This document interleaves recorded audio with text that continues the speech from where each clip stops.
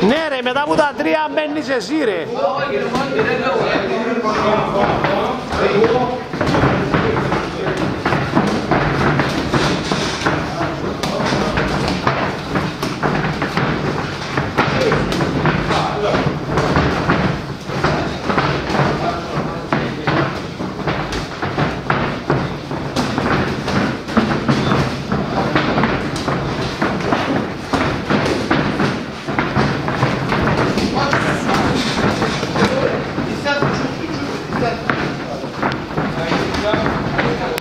Καληνύχτα.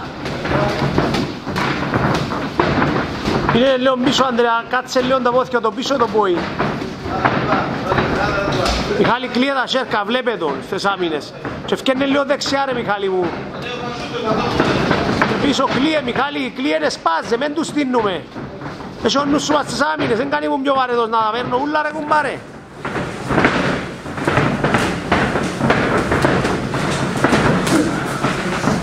Έτσι, κλείε καλά Μιχάλη, αμέ μου εμπέρνω χτυπήματα. Και σφίγγες στις άμυνες, βλέπε τον, σπάζε, σπάζε.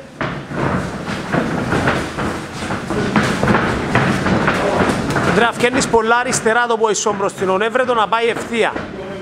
Και το κορμί σου να πάει ευθεία.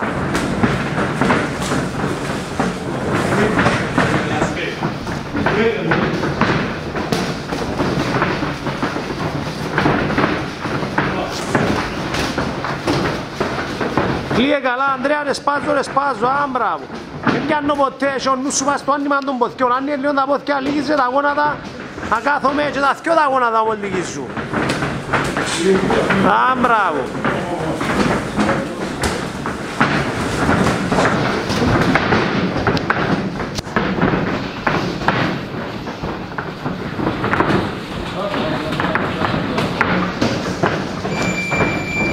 Τριάντα. Σ' ο νους σου Μιχάλη μου.